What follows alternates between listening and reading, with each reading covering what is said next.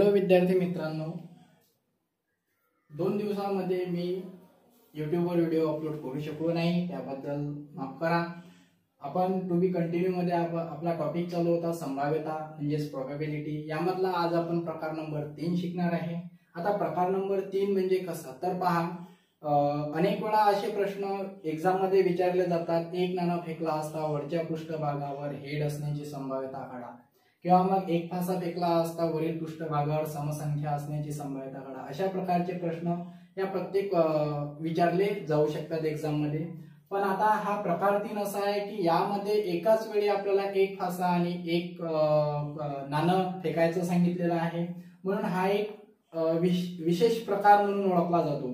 तर पहा अशा प्रकारचे एकाच वेळी जर एक फासा आणि एक नाणं जर फेकल्यास त्याच्या वरील पृष्ठभागावर काटा किंवा असे कोणत्याही प्रकारचा प्रश्न ते तयार करू शकतात आणि आपल्याला विचारू शकतात. म्हणून अशा प्रकार अशा प्रकारावरील आपण काही एक्झाम्पल जे असतील ते सॉल्व्ह कसे करून घेणार आहोत? तर त्यासाठी मी तुम्हाला व्यवस्थित एक ट्रिक सांगणार आहे. तर त्याकडे तुम्ही लक्ष द्या. पहा. आता आपण प्रकार क्रमांक तीन शिकणार आहे. संभाव्यता या टॉपिकवरील तर पहा. प्रश्न असा आहे एक नाणा आणि एक फासा एकाच वेळी फेकल्यास नाण्याच्या वरील पृष्ठभागावर काटा व फाशाच्या वरील पृष्ठभागावर मूळ संख्या असण्याची संभाव्यता काढा. तर असा प्रश्न सोडवत असताना सुरुवातीला आपल्याला या संभाव्यता प्रकरणामध्ये सर्वात महत्वाची गोष्ट आहे ती म्हणजे नमुना अवकाश. जोपर्यंत आपण नमुना अवकाश काढत नाही तोपर्यंत आपल्याला संभाव्यता या प्रकरणावरील कोणतीही गोष्ट समजत नाही किंवा आपण अँसर काढू शकत नाही. म्हणून संभाव्यता या प्रकरणावरील सुरुवातीला आपण नमुना अवकाश काढून घेऊ. तर नमुना अवकाश कसा येईल? तर पहा नमुना अवकाश नमुना अवकाश. आता नमुना अवकाश काढत असताना जोपर्यंत आपण या घटना एकूण घटना किती घडू शकतात हे काढू शकत नाही म्हणजेच नमुना अवकाश किती असेल हे सांगू शकत नसलो तर आपण त्या प्रश्नाचं उत्तर सांगू शकत नाही. म्हणून नमुना अवकाश काढणं महत्वाचं आहे. आता नमुना अवकाश काय? सपोज एक कॉईन आहे आणि एक फासा आहे. या फाशाला आपल्याला माहिती आहे की या फाशाला एकूण पृष्ठभाग सहा असतात आणि या कॉईनला एकूण पृष्ठभाग दोन असतात किंवा दोन बाजू असतात. ठीक आहे? आता वरची बाजू सपोज हेड आहे आणि खालची बाजू टेल आहे या नाण्यावरील. आणि याला एक अनुक्रमे एक दोन तीन चार पाच आणि सहा. असे याचे पृष्ठभाग आहेत तर आता विचार करा तुम्ही जर सपोज एकाच वेळी हा हे एक नाणा आणि एक फासा जर फेकला तर नाण्याच्या वरील पृष्ठभागावर जर हेड पडत असेल का छापा पडत असेल तर या फाशाच्या वरील पृष्ठभागावर एक दोन तीन चार पाच सहा यापैकी कोणताही अंक पडू शकतो. म्हणून सुरुवातीला आपली पहिली इव्हेंट अशी तयार होईल. H one H two H three H four H five आणि एच सिक्स एच फाईव्ह आणि एच सिक्स अशा एक इव्हेंट घडू शकतील. त्याचप्रमाणे आता हेड जर पड पडत असेल तर अशा प्रकारच्या एकूण सहा घटना घडतील.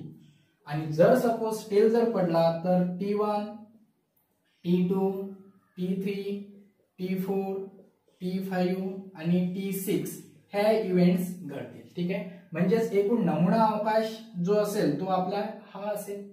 ठीक आहे? मग नमुना अवकाश जर हा असेल तर मग या नमुना अवकाशची एकूण संख्या किती आहे? तर आपल्याला लिहिता येऊ शकते नमुना अवकाशची संख्या. म्हणजेच number of sample space is equal to एकूण या घटना किती आहेत? तर ह्या घटना आहेत बारा. ठीक आहे? म्हणजेच आपल्याला नंबर ऑफ एस मिळाला. आता मुख्यतः आपल्याला प्रश्न असा विचारलेला आहे अट अशी विचारलेली आहे की एकाच वेळी फेकल्यास नाण्याच्या वरील पृष्ठभागावर काटा काटा म्हणजे टेल म्हणजे नाण्याच्या वरील पृष्ठभागावर काय पडलेला आहे? टेल आपल्याला यच घ्यायचा नाहीये कारण आपल्याला प्रश्नात विचारलं काटा. काटा म्हणजे टेल ठीक आहे म्हणजे टी आणि भाषेच्या वरील पृष्ठभागावर मूळ संख्या. आता मूळ संख्या कोणकोणत्या आहेत? तर टी टू हे मूळ संख्या आहे. थ्री मूळ संख्या आहे फाईव्ह ही सुद्धा मूळ संख्या आहे.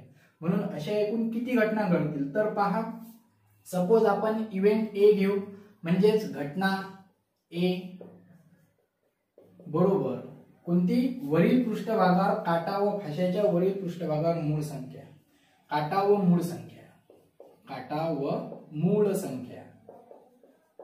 आता काटा व मूळ संख्या कोणत्या आहेत? तर घटना ए अशी तयार होईल आपली. ते म्हणजे टी दोन. आता वास्तविक पाहता तुम्ही म्हणसाल की एक ही मूळ संख्या आहे. परंतु वास्तविक पाहता एक गोष्ट लक्षात ठेवायची एक ही संख्या मूळ संख्या नाही आणि संयुक्त संख्या सुद्धा नाही. ठीक आहे? तर ती फक्त नैसर्गिक संख्याच आहे.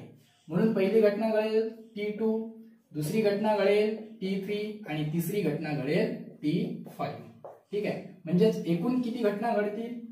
ही झाली एक ही झाली दुसरी आणि ही झाली तिसरी. म्हणजेच number of event A is equal to किती? तीन. ठीक आहे?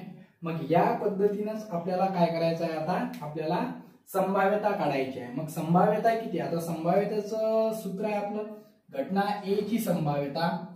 घटना ए ची संभाव्यता बरोबर number of event A upon number of sample space is equal to number of event A किती आहेत एकूण? तीन आहे. आणि नंबर ऑफ सॅम्पल स्पेस किती काढले आपण? बारा काढले. म्हणजेच याचा रिड्यूस फॉर्म करणं आवश्यक आहे म्हणजे संक्षिप्त रूप करणं आवश्यक आहे. म्हणून तीन एक तीन तीन बारा म्हणजेच एकशे चार. आता जर समजा ही जी घटना आहे किंवा ही जी संभाव्यता काढली आपण एकशे चार आहे ही जर आपल्याला टक्केवारीत जर काढायची असेल तर याला गुन्ह्याला शंभर करायचे म्हणजे शंभर भागेला चार म्हणजेच किती टक्के? पंचवीस टक्के. अशा पद्धतीनं आपण प्रकार तीन या पद्धतीनं आपण समजून घेतलेला आहे. आशा करतो तुम्हाला सर्व गोष्टी समजल्या असतील. अशा प्रकारची जी उदाहरणं आहेत तुम्ही वेगवेगळे पुस्तकांमध्ये अशा प्रकारची खूप सारी संभाव्यता या टॉपिकवरील एक्झाम्पल्स आहेत ते तुम्ही सॉल्व्ह करून घ्या. एक नाणा आणि एक फासा एकाच वेळी विचार. आणि यानंतरचे जे प्रकार आहेत ते आपण नेक्स्ट व्हिडिओमध्ये घेऊ. ठीक आहे? धन्यवाद.